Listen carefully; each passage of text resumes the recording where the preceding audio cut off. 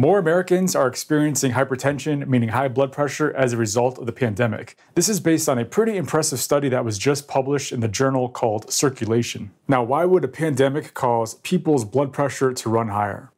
Well, by the end of this video, you'll have a good understanding why. But if I had to pick one word as the reason, it would be stress or anxiety.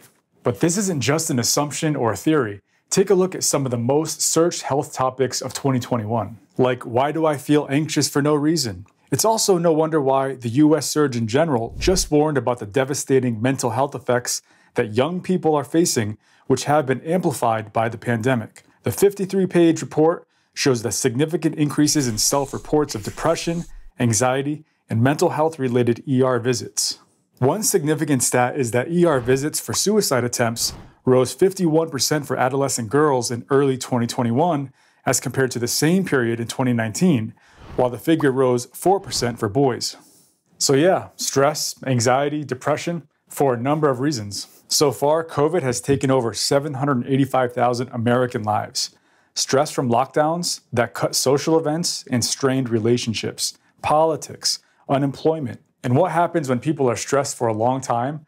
More and more of the hormone cortisol is released from the adrenal glands in the body. It circulates into the blood and affects the entire body. Too much cortisol in the body over a long period of time does lots of bad things. One of those things is it raises blood sugar. Another thing is that it weakens the immune system. And yes, it does also raise the blood pressure. Yes, the pandemic, it raised people's stress levels, but what did it also do? People weren't exercising as much. People were eating less healthy. They were drinking more alcohol, getting less quality sleep, and they weren't getting as much regular health care including less doctor visits and less adherence to medication regimen. In fact, it was these exact observations that led the lead author of the study to do the study in the first place. Based on this study, almost half a million Americans have higher blood pressure compared to the year before. To be more specific, the researchers at Cleveland Clinic found that the blood pressure reading for the most part stayed the same from 2019 through March of 2020, but had a big jump from April 2020 to the end of the study in December of 2020. When looking at blood pressure, it's really two measurements rolled into one. The top number is the systolic pressure related to the heart squeezing. The bottom number is the diastolic pressure related to the heart relaxing. Anyone with a blood pressure of 130 over 80 millimeters mercury or higher is considered to have high blood pressure. The average monthly change from April 2020 to December 2020 compared to one year prior to that was a 1.1 to 2.5 millimeter mercury increase in systolic pressure. For diastolic pressure, it was an average increase of 0.14 to 0.53 millimeters mercury. These numbers might not seem like they're a big deal, but when you have this jump in half a million people, it's actually considered to be a significant jump. The increases occurred in all of the subgroups. It occurred in all ages, in both men and women, although it was a bigger increase in women. Over time, having high blood pressure, even if it's just a little high, can damage blood vessels, your heart, brain, kidneys, and eyes, as well as sexual function. Almost half of American adults have high blood pressure, which is also known as the silent killer, because it can have life threatening consequences despite there being little to no symptoms. With more and more people having higher blood pressure, that means more and more people will have strokes, heart attacks, heart failure, kidney impairment, visual impairment, and erectile dysfunction.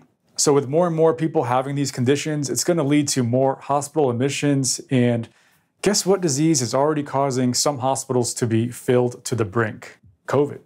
Fortunately, high blood pressure is relatively easy to diagnose and treat. In many cases, blood pressure can be adequately lowered without medication simply by eating healthier, exercising more, and practicing stress reduction techniques. This would include things like yoga, meditation, and mindfulness. One of the main dietary changes you can make in order to lower blood pressure would entail eating more potassium and less salt. Take a look at this study that was published in the New England Journal of Medicine, which had about 400 people in it. Half of them followed the typical American diet, which was the control group, and the other half following the DASH diet for three months. The conclusion those who ate a low sodium DASH diet can prevent or even reverse the typical rise in blood pressure that occurs as people get older. Thousands of years ago, during the Paleolithic period, our ancestors survived by eating an entirely different kind of diet, pretty much the opposite of what we eat today. They feasted on wild animals and a variety of plants. fruits, vegetables, nuts, seeds, roots, and even leaves. But this Paleolithic diet was high in potassium and low in sodium. Today's typical American diet is packed with processed foods full of white flour, fat, salt, sugar, as well as meat and dairy products, with only a small percentage of fruits and vegetables. More than 40% of the sodium that Americans consume today comes from just 10 types of food. The 10 biggest culprits are breads and rolls, pizza, sandwiches, cold cuts and cured meats, soups, burritos and tacos, so called savory snacks like chips and pretzels, chicken, cheese, and eggs and omelets. So, eating less of this type of food and more of the healthy foods, exercising 150 minutes per week, doing stress reduction techniques, so mindfulness, meditation, yoga, and also getting good sleep, high quality sleep. These are the main ways of ridding yourself of the silent killer without medication.